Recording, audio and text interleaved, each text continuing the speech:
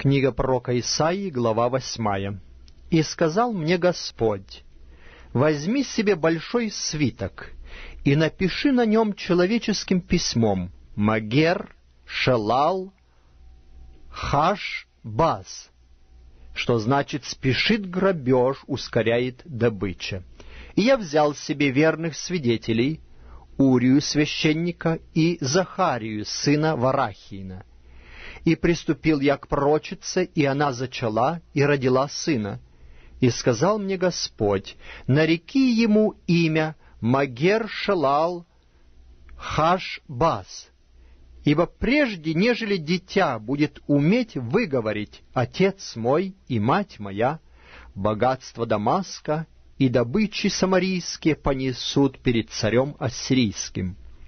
И продолжал Господь говорить ко мне и сказал еще — за то, что этот народ пренебрегает водами Силаама, текущими тихо, и восхищается Рицином и сыном Ремалииным, наведет на него Господь воды реки бурной и большой, царя ассирийского со всей славой его, и поднимется она во всех притоках своих, и выступит из всех берегов своих и пойдет по Иудее, наводнит ее и высоко поднимется, дойдет до шеи, и распростертие крыльев ее будет во всю широту земли твоей, Эммануил.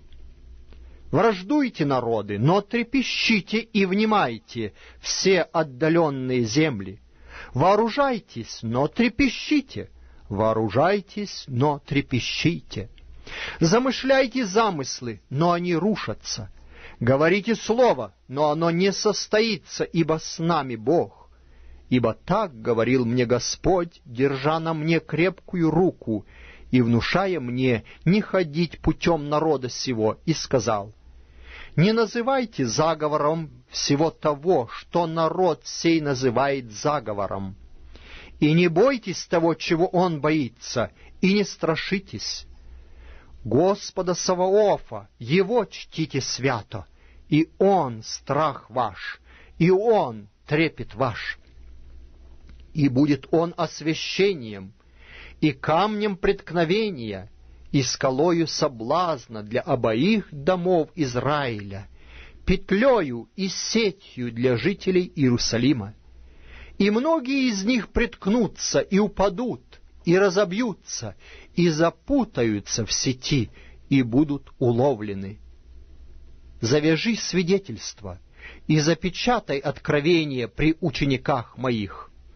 Итак, я надеюсь на Господа, сокрывшего лицо свое от дома Иаковлева, и уповаю на Него. Вот я и дети, которых дал мне Господь, как указание и предзнаменование в Израиле от Господа Саваофа, живущего на горе Сионе. И скажут, когда нам, обратитесь к вызывателям умерших и к чародеям, к шептунам и чревовещателям, тогда отвечайте, не должен ли народ обращаться к своему Богу? Спрашивает ли мертвых о живых? обращайтесь к закону и откровению. Если они не говорят, как это слово, то нет у них света. И будут они бродить по земле, жестоко угнетенные и голодные, и во время голода будут злиться, хулить царя своего и Бога своего, и взглянут вверх, и посмотрят на землю, и вот горе и мрак, густая тьма — и будут повержены во тьму. Но не всегда будет мрак там, где теперь он огустел.